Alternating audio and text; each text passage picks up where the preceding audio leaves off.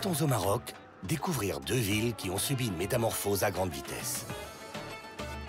Commençons par celle qui fait face à Gibraltar. Elle est le carrefour entre l'Atlantique et la Méditerranée, entre l'Europe et l'Afrique.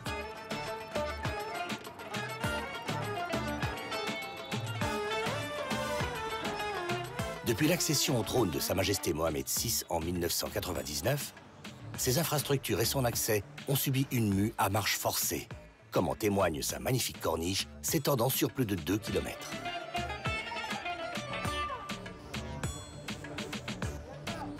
Tanger, vieille cité populaire, une des plus anciennes du pays, fut pendant 1500 ans la capitale diplomatique du royaume.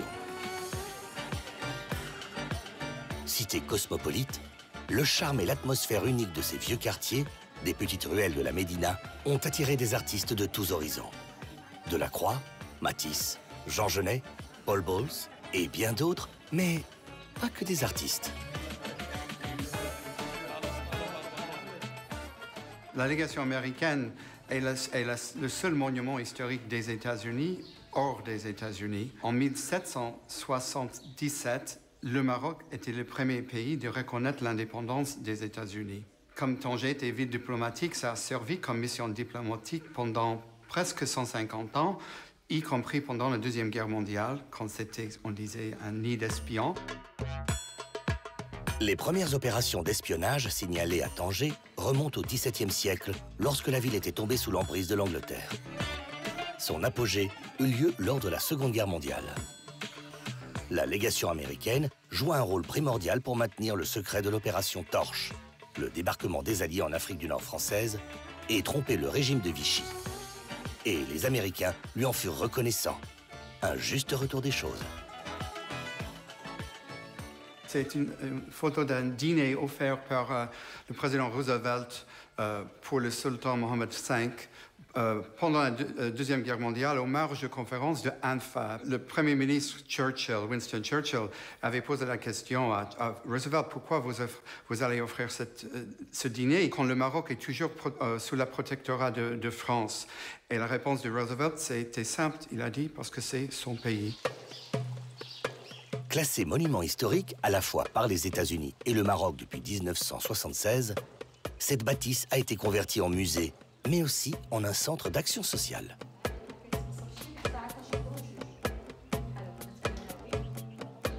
Aujourd'hui, ce sont les cours des mathématiques. Nous aidons les femmes à suivre ces cours pour les insérer par la suite dans le tissu socio-économique. Si aider les femmes à se promouvoir est une activité effectivement importante, un autre lieu à proximité de la légation américaine ne manque pas de surprendre.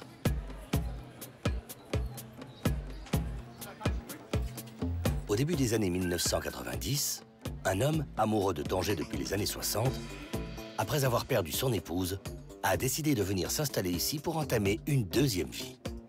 C'est à cette époque-là que j'ai décidé de créer euh, une association, une fondation, qui était destinée à remettre euh, Tanger sur la carte culturelle euh, du Maroc ou du Maghreb en général, et d'organiser des activités culturelles pour euh, certains enfants, des trucs de formation en arts plastiques, etc. Nous avons commencé par le théâtre. Autour de moi derrière, c'est un musée, c'est le musée du Tanger international, qui fait revivre, ou qui essaye de faire revivre, les grandes heures de Tanger.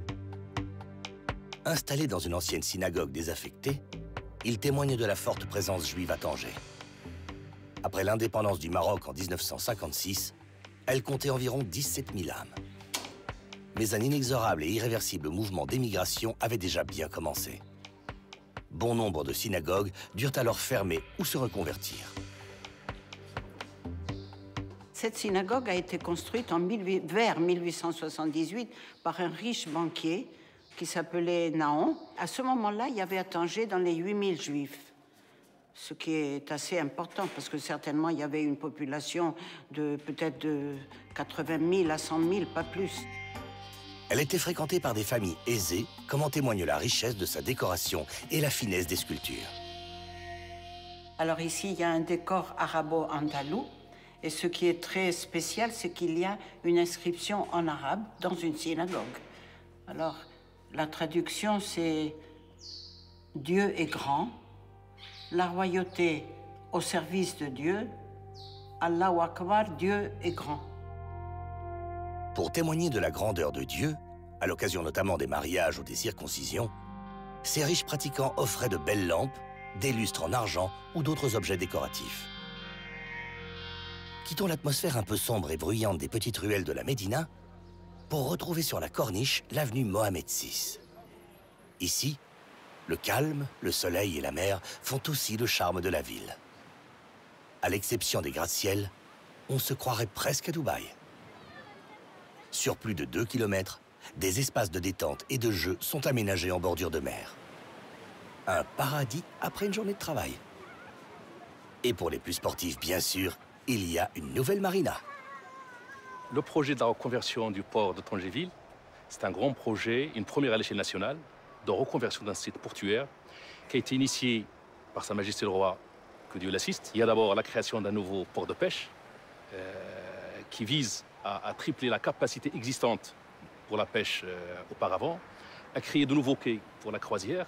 Donc aujourd'hui, on peut accueillir deux grands bateaux, deux méga bateaux, et finalement une, une, marina à terme qui va faire 1400 anneaux avec une première phase réalisée sur un bassin de 15 hectares et une seconde en cours de réalisation qui va abriter 600, 600 anneaux. C'est une excellente chose parce que ça coïncide avec la 20e année de l'intronisation de Sa Majesté le Roi euh, sur son trône. Une reconversion globale réussie qui mérite à elle seule le détour. Mais après cette escapade en bord de mer, revenons dans la vieille ville pour y trouver des traces de sa longue histoire, et notamment une très importante pour le Maroc. On est à la place 9 avril, s'il vous plaît. C'est la place où est arrivé le feu roi Mohamed V a annoncé l'indépendance du Maroc. C'est le 9 avril 1947.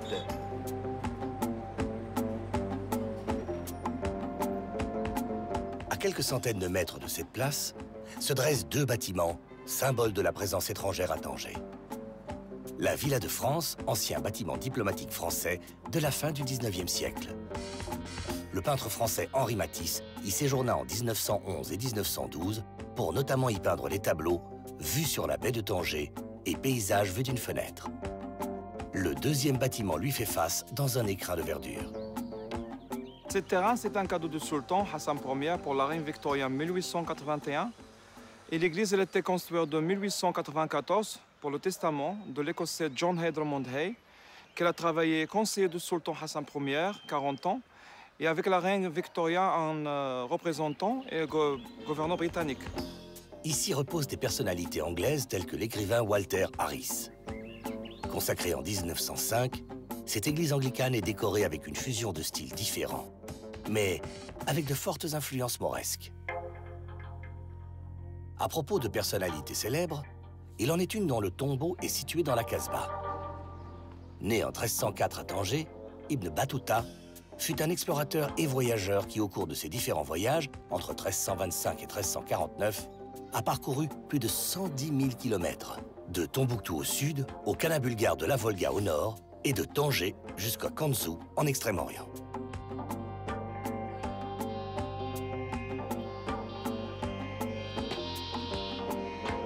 Surplombant la baie de Tanger, au sommet de la Casbah, se dresse le palais d'Arel Maxen, bâti en 1684 par le sultan Moulay Ismail, juste après le départ des troupes anglaises. Ce dernier y siégea jusqu'au protectorat en 1913, puis ce palais fut transformé en musée en 1922.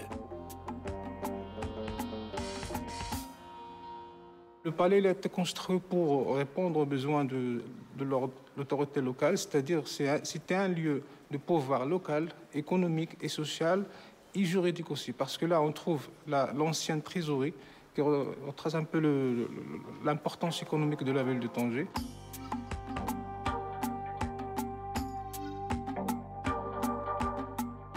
Ce musée patrimonial et archéologique de la Casbah retrace toute l'histoire de la ville au cours des siècles. On peut y admirer tout à la fois les minutieuses décorations arabo-andalouses qui ornent plusieurs sièges d'apparat ainsi que de très remarquables armes anciennes qui témoignent du passé tumultueux de la ville, sans oublier la magnifique mosaïque provenant de Volubilis, Navegum Valeris.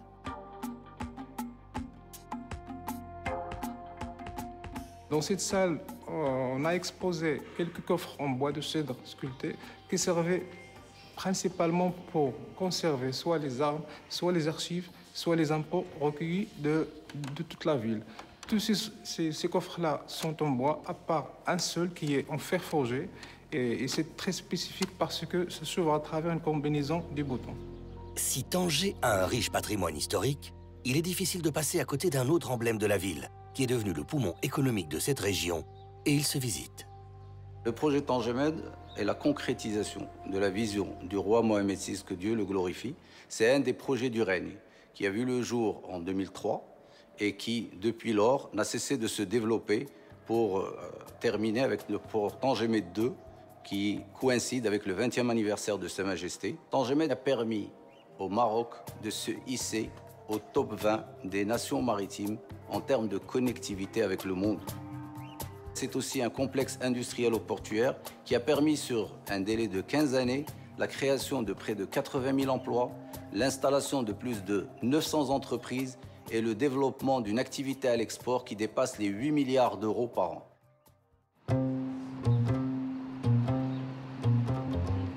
Signe que cette ville est bien entrée dans le 21e siècle, son accès par TGV et sa toute nouvelle gare ferroviaire. Cette première ligne à grande vitesse en Afrique, reliant Tanger à Rabat et à Casablanca, a été réalisée grâce à un partenariat franco-marocain. Elle restera sans nul doute, pour les Marocains, comme un des repères du 20e anniversaire du règne de Sa Majesté Mohamed VI. En 1h20, cette ligne ferroviaire vous emmène à Rabat, la capitale du Maroc. Une ville chargée d'histoire qui s'est elle aussi réveillée depuis plus de 20 ans. La gare de Rabat Agdal, conçue par l'architecte marocain Youssef Melehi, accueille les premiers trains à grande vitesse du continent africain. Elle relie ainsi les deux villes économiques les plus importantes du pays, Casablanca et Tanger, à la capitale. Sa structure a été pensée suivant des concepts de transparence, de flexibilité et de sobriété dans toutes les formes, tout en introduisant des motifs d'inspiration artisanale au niveau des claustras.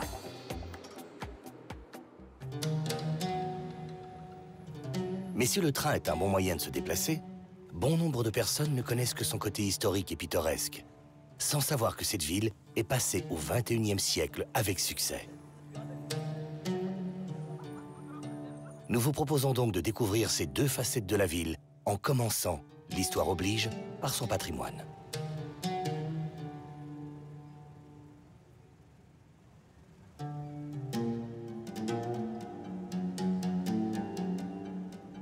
Son emblème La tour Hassan. Elle fut construite sur le même méridien et dans le même style que la Giralda de Séville en Espagne ou la Koutoubia de Marrakech. Les travaux de cette ancienne mosquée inachevée ont débuté en 1197 sous l'impulsion du calife Almohav Yacoub el-Mansour qui voulait ériger la plus grande mosquée du monde musulman. Après son décès, ses successeurs n'achèvent pas ce projet. En 1755, le tremblement de terre qui ravagea Lisbonne fit tomber les 312 colonnades déjà construites. Face à la tour, le mausolée Mohamed V. Il a été construit entre 1962 et 1970. À l'occasion du 20e anniversaire de son accession au trône, le roi Mohamed VI a reçu le pape François sur cette esplanade. Ils se sont recueillis dans le mausolée, voulant ainsi renforcer l'amitié qui lie le Vatican au royaume du Maroc. A Rabat nel 2012. Autre lieu symbolique des 800 ans de la ville, la Casbah des Oudaya. Elle porte le nom des soldats qui s'installèrent ici. C'est le roi qui les a envoyés de Meknès au XVIIIe siècle pour qu'ils fassent de l'ordre ici. Le venaient euh, de zones de la région qui venaient pillarder ici la ville de Rabat. Alors les gens qui sont restés ici, c'est comme une grande famille. C'est des cousins, on trouve des cousins. Avec le temps, il y a des Français, des Américains, même des Anglais, de toutes les nations, qui achètent des maisons ici, qui sont venus s'installer ici. Même ici, on a presque à peu près 20% des maisons qui appartiennent à des étrangers. Même l'État a demandé qu'on ne doit pas vendre plus que 25% pour qu'on garde toujours euh, les traditions marocaines, les traditions de la Casbah ici à la Casbah. En évitant un exode de ses habitants, ce vieux quartier animé et populaire a conservé tout son charme. À tel point qu'une artiste française s'y est installée avec son mari photographe. Pendant 50 ans, les Oudayas, euh, c'est un lieu qui a été habité par l'histoire d'une république, une vraie république, la République des corsaires, les pirates. À l'heure actuelle, c'est un lieu un petit peu en marge. Et c'est pour ça d'ailleurs que de nombreux artistes, de nombreux poètes, et c'est pour ça que nous, on a décidé d'y habiter, hein, parce qu'on y habite aussi. Et on a créé cette galerie, cette librairie, qui pour nous est un lieu de rencontre, un lieu de débat, euh, un lieu ouvert hein, aux expériences les plus, créatrices, hein, les plus nouvelles, les plus innovantes, toujours des, expériences quand même de, de valeur. Belle expérience que de trouver en ce lieu très populaire un espace de culture et d'échange. En bordure de la Casbah se trouve une des rues les plus prisées des touristes de passage, la rue des Consuls. Elle est consacrée à l'artisanat et aux antiquités. Cette euh, rue de Consuls, avant le protectorat, elle était le, toutes les consulats du Maroc les, des étrangers ont été ici. Et surtout la première consulat de France était ici au milieu de la rue de Consuls. Il était, euh, le consul était M. Chénier, le père du poète Chénier. Né en 1722, il accompagna le comte de Brugnon que le roi Louis XVI envoya pour conclure un traité avec le Maroc. Pour l'en gratifier, le roi de France le nomma consul général. Le calme de cette première résidence officielle française, qui mériterait bien une restauration, tranche avec l'ambiance commerçante de la rue. C'est un tapis de rabat, type peu comme on rebâtit. Euh, c'est fait à la main, et c'est de la laine, de la laine, avec euh, la trame en coton et des motifs euh, traditionnels. Est-ce de l'artisanat vraiment marocain? Pour en avoir le cœur net, il faut se rendre au complexe artisanal à quelques minutes des centres-villes de Rabat et Salé.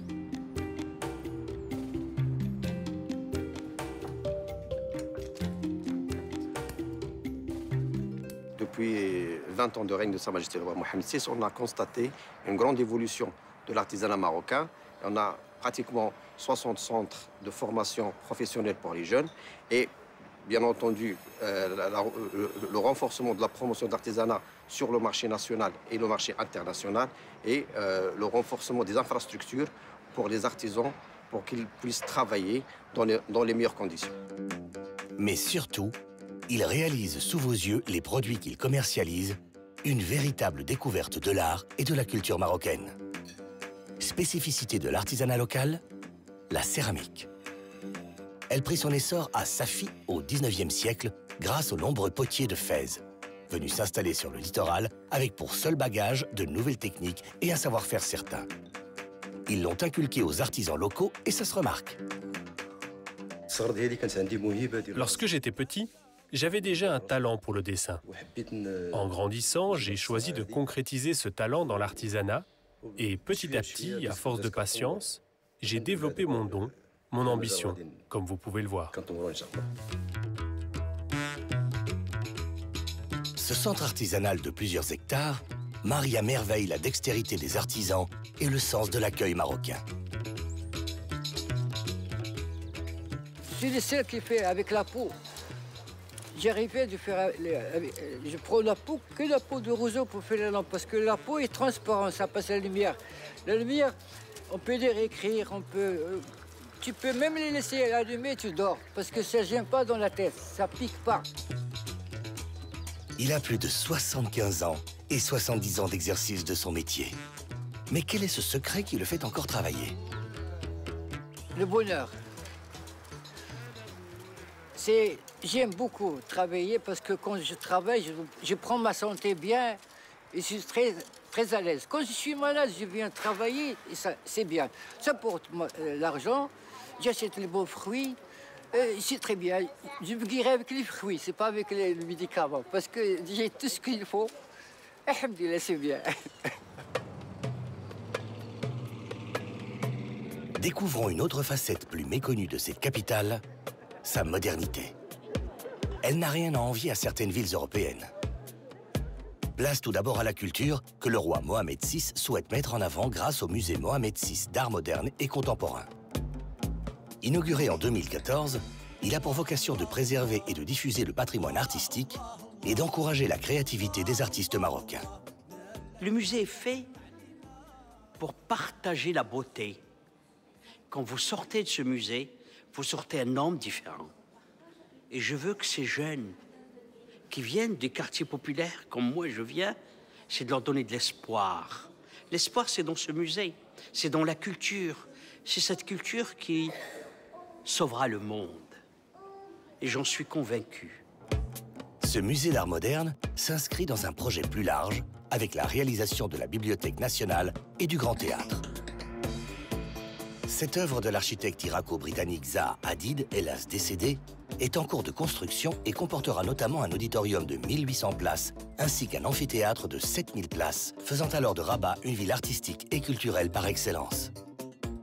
Ces grands travaux, pour placer la ville en bonne place des destinations touristiques, ne se limitent pas aux bâtiments, mais aussi aux infrastructures de transport de toutes sortes. La marina du Bourgreg et ses 240 anneaux a été ouverte en 2008. Nous recevons à peu près 200 à 220 pavillons étrangers par an. Et nous avons 85 bateaux marocains en permanence. Et nous avons la chance de recevoir des équipes prestigieuses ici, comme bientôt nous allons recevoir Oxford et Cambridge, qui vont faire leurs courses ici. Relier les deux rives de la vallée du Bourgreg et lier ainsi les cités de Rabat et Salé au même destin, deux ponts ont été construits. Le pont Mohamed VI, long de 680 mètres sur l'autoroute qui contourne les deux villes, et surplombant la marina et longeant la tour Hassan, le pont Hassan II. La cadence des tramways qui l'empruntent ne manque pas de surprendre. Un toutes les quatre minutes. Le réseau du tramway de Rabat-Salé est le premier réseau euh, de tram moderne du Maroc qui a été lancé en mai 2011 par Sa Majesté le roi, que Dieu le glorifie. Il faut noter la particularité, c'est que 50% de nos voyageurs sont des femmes. Et donc c'est un système aujourd'hui qui est totalement sécuritaire. Alors prenez le tram pour vous rendre à la cathédrale Saint-Pierre afin d'y découvrir le dialogue interreligieux que prône le roi Mohamed VI pour ancrer son royaume dans le XXIe siècle. Construite grâce à la générosité des fidèles au début du protectorat français, elle fut inaugurée en 1921 par le général Lyotet. Elle est de style art déco, mais un art déco marocanisé. Sa voûte est faite d'arcs typiquement arabes, les vitraux de la nef ressemblent aux vitraux des mosquées, des éliges le long des piliers et une voûte en bois de cèdre, comme souvent dans l'architecture locale. Mais qui fréquente cette cathédrale? C'est ça l'étonnant de notre communauté chrétienne euh, au Maroc, c'est qu'elle est toute faite d'étrangers, mais elle est bien plus catholique qu'ailleurs, puisque catholique veut dire universel. Quand je célèbre ici, il y a toujours au moins 40 à 50 nationalités présentes. Et c'est un enjeu de paix qui est très important. Ça a été le grand slogan de la rencontre euh, du roi du Maroc et du pape François. Les religions sont faites pour la paix, pour le respect entre les personnes et pour construire de la fraternité, ce que nous essayons de vivre ici. Cette petite communauté chrétienne très active déteste les murs. Elle essaie de construire des ponts entre communautés, tout comme l'Institut Mohamed VI pour la formation des imams. Mais quel est son objectif? On forme des imams, des imams en provenance de différents pays où cohabitent les musulmans et les non-musulmans. L'Institut assure une formation en sciences des religions et recherche à faire des imams des deux sexes des bons guides, en commençant par leur enseigner la compréhension correcte et juste de l'islam en tant que religion de tolérance. L'imam sera alors un bon citoyen pour pouvoir bien représenter l'islam et en même temps pourra participer, après son retour chez ses compatriotes, au développement de son pays. L'Institut donne aussi des formations sur la culture juive, la culture chrétienne et l'étude des religions comparées. Et quel plus beau symbole de cet esprit d'ouverture que le concert offert lors de la visite du pape en 2019, où trois artistes de confessions monothéistes différentes chantèrent à l'unisson leur foi.